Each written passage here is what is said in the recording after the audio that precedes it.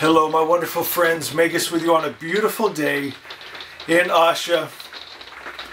This message is so important. And someone right now, it's, it's no mistake that you found this channel. Inside, your soul is screaming, I need answers. I need to know God, not just hear about it, not just read about it. I'm tired of searching. I'm exhausted. I need God. I need love. I need peace. I, I need joy in my life. I need to experience it. I'm so tired. Magus, my friend, you've come to the right place. I'm going to make it simple for you. There are two trinities. My friends, there's, there's the Holy Trinity and there's an evil Trinity. And many people, they think they're in the Holy Trinity, but in truth, they're in the evil trinity. And that's why their life and their energy and their experience is the way it is. And I'm going to show you how to change it so quickly, my friends, with frequency. Get this. And before I even start this, let me say one thing. There's a saying that all great truths start out as blasphemy. My friends, think of Jesus. He brought the truth and the loving Father, and they screamed blasphemy, crucify, my friend. So if, you, if something in you as I'm saying this rises up and you feel anger and you're thinking stone him, crucify him, that's a red flag that you need to hear this. So you don't have to accept it, but at least please hear it, and I'll make it fast. Father, Son, Holy Spirit, energy, matter, frequency. If you can understand this, you're going to understand God, the universe, your role, this world, my friends, energy and matter, same thing, right? E equals mc squared. We know that now. Everything, everything that's form and matter is just energy that by a frequency is vibrating in a form, my friends. So, and then also remember, Jesus said that I and the Father are one.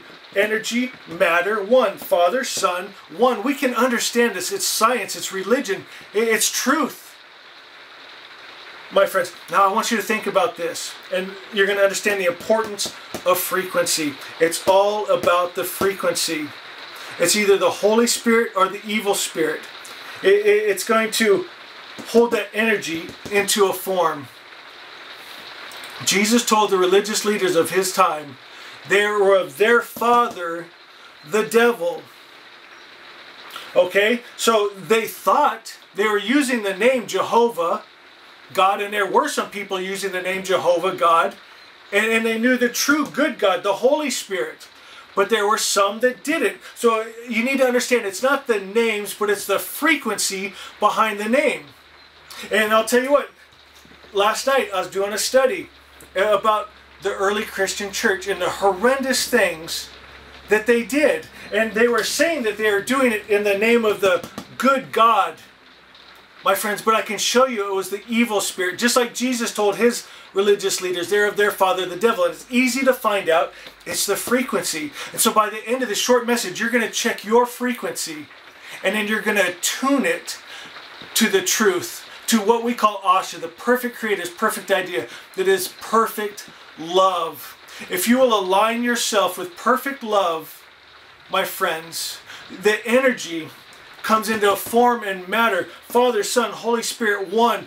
The true God is divine life and divine love and divine peace and joy. It's all about frequency and energy, my friends. And if you hold the right frequency and energy, you're going to make the right form and matter in your world, in your mind. You're going to experience God good, peace, joy, my friends. So in my study last night, I was studying the early Christian church and the horrendous things that were going on. My friends, and the thousands and thousands of people that were murdered by them. And, you know what they were doing? They, they would see someone that's rich and famous and talented and they'd want what they had their big homes and their money and and they couldn't just go in and take it because that would be morally wrong and they're supposed to be the church so what they would do is they would arrest them and get them to confess that they made a deal with the devil, sold their soul to the devil to get that talent that they, they had, to get that money. but the person wasn't going to do it because it wasn't true. So they would break one arm and say, okay, now sign this confession. They wouldn't do it. They'd break the second arm. Then they'd break one leg, then the other leg, my friends, and then they'd torture them eh, until finally they just wanted to die. And they would sign it just to die and end the pain and, and suffering.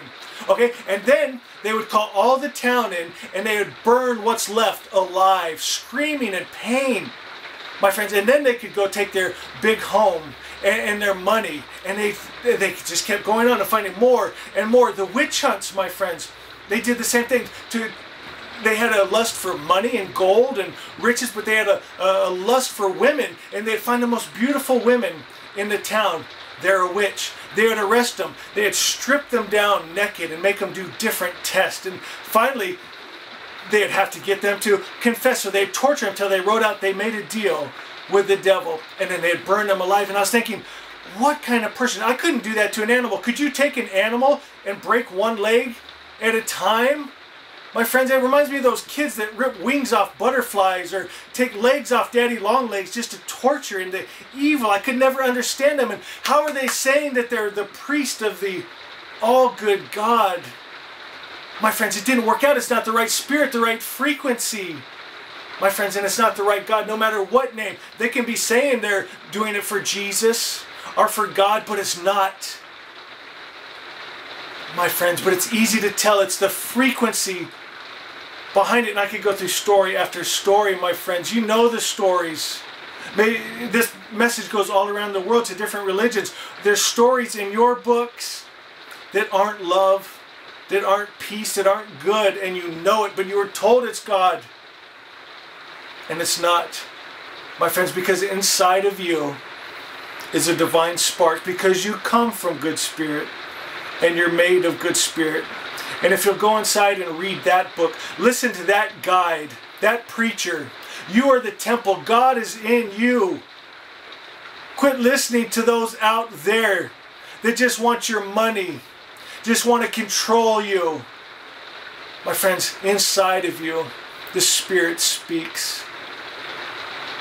And He speaks of divine life and love and joy and goodness and kindness.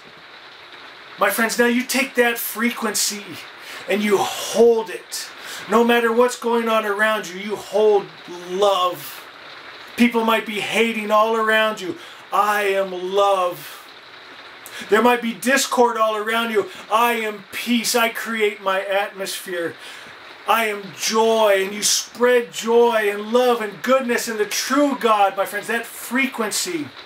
Now you're taking that energy, that's God, good energy, and you're making it in to a form. My friends, Osha 13 says that when our spiritual world becomes straight, our material world comes into order. How do we do that? It says with the original word. What is the original word? It's all good comes from the Creator and no evil comes from him. It's good. But the world religions have changed the meaning of good.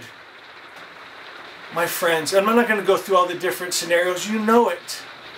But inside, you know what love is and what truth is. And today, you can join the Holy Trinity, my friends, and you just ask perfect love.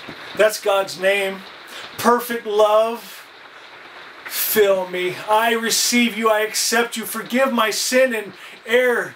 Forgive me for all my past mistakes and failures, and I forgive myself. Fill me perfect love, and perfect love runs out fear and shame and hate and greed and anger and hurts. Perfect love fill me, and now you're holding that frequency, my friends, and and the good God, good Spirit, you become one with the loving Father, and you become sons and daughters of the King.